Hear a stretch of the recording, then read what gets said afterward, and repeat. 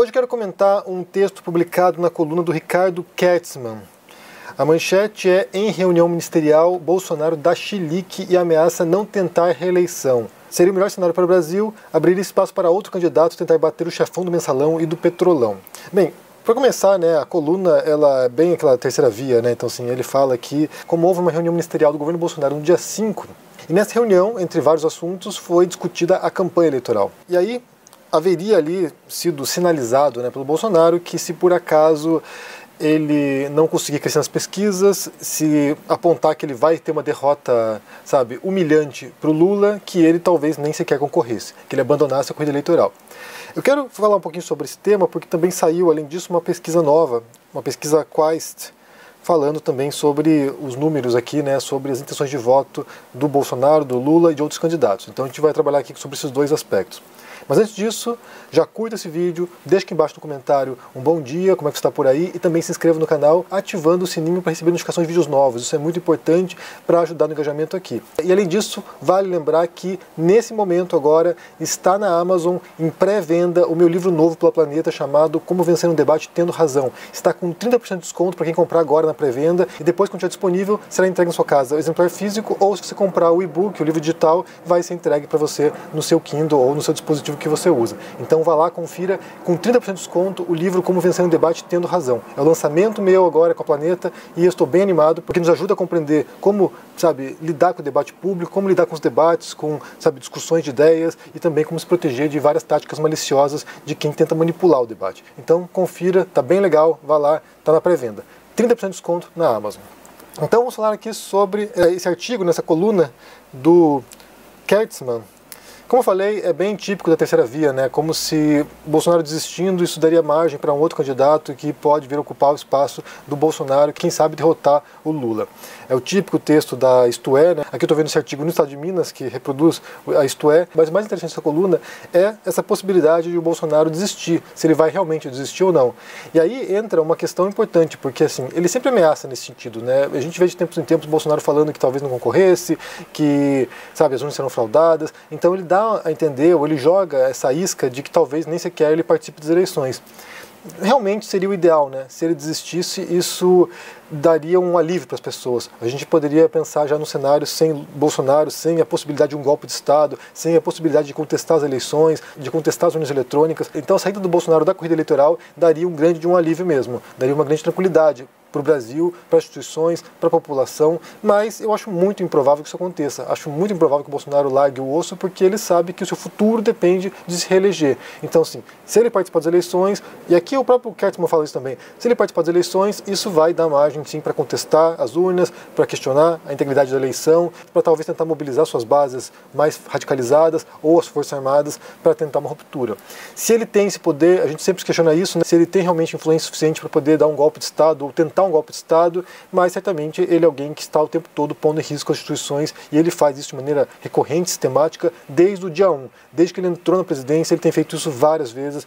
O meu livro sobre o Bolsonaro, né, fala muito sobre isso, vários momentos do primeiro ano do governo Bolsonaro, no qual ele forçou as instituições, no qual ele testou as instituições. Então, me parece quase inevitável que ele vá concorrer à presidência, vai perder possivelmente, e assim ele vai poder sim tensionar mais uma vez instituições na tentativa de um golpe de Estado.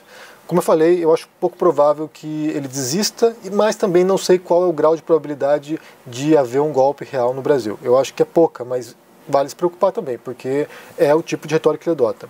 Além disso, como eu falei, saiu uma pesquisa recente agora da Quaest e mostra aqui alguns números interessantes para a gente poder analisar aqui como se dá a liderança clara do Lula em relação ao Bolsonaro. Eles simularam alguns cenários aqui e neles aponta uma grande chance de vitória no primeiro turno do Lula, como tem apontado outras pesquisas também recentes que já mostram uma tendência, um patamar de 40 e poucos por cento para o Lula, o Bolsonaro estacionado ali nos 30% e os outros candidatos sem muita representatividade. Então aqui, olha, nos cenários apresentados aqui, que é o com o maior número de candidatos, você tem Lula em primeiro lugar nas situações de voto, né? Sempre lembrando que a pesquisa é um retrato do momento. Muita coisa pode mudar.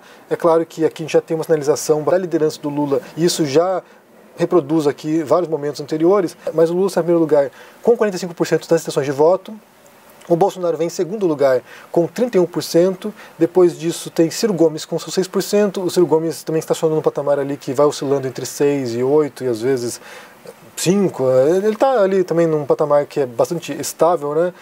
Em seguida, André Janones com 2%, Simone Tebet com 2% também, Pablo Marçal com 1% e todos os demais aqui, candidatos, é, não pontuaram, então estou com 0%. E ali você tem indecisos com 6%, que poderia dar uma vitória também ao Lula no primeiro turno. Né? É claro que a gente tem que contar os votos válidos, mas 6% indecisos e 6% de branco, nulo ou não vai votar. Então aqui, mais uma vez, uma liderança clara clara do Lula em relação aos outros candidatos, em relação ao Bolsonaro também.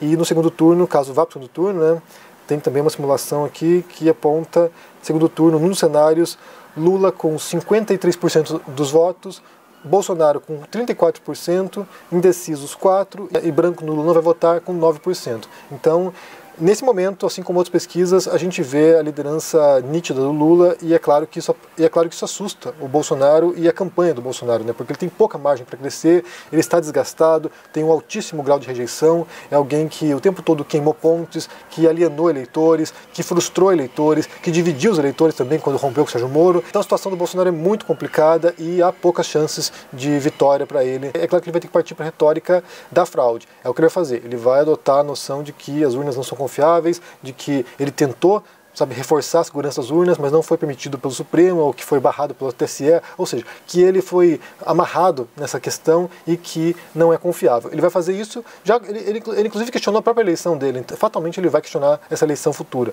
Mas se ele vai desistir ou não, eu acho muito improvável, muito improvável, é alguém que está deslumbrado com o poder e ele quer se manter no poder por várias questões, inclusive a própria liberdade dele, porque há uma grande possibilidade também de ele perder essa eleição e acabar preso. Então eu quero saber de vocês aqui o que vocês pensam sobre essa história, né, nesse artigo, nessa coluna do Kertzmann, falando sobre a possibilidade ou ameaça feita por Bolsonaro, né, porque ele cita o Bolsonaro aqui, né, falando, eh, vou ler textualmente aqui, que, que ele teria afirmado aos seus ministros que se as eleições não forem limpas, que ele não participaria das eleições. Então, sim, ele joga, ele, ele joga isso para causar pânico na sua base, né, para quem sabe se mobilizarem, mas o cenário nesse ano não é o mesmo de 2018. Certamente não é. Em 2018 houve uma bola de neve sabe, no sentido do Bolsonaro, esse ano já não tem esse movimento, já não percebo mais essa histeria que havia em torno do Bolsonaro, então há uma grande chance de ele perder feio no primeiro turno, inclusive.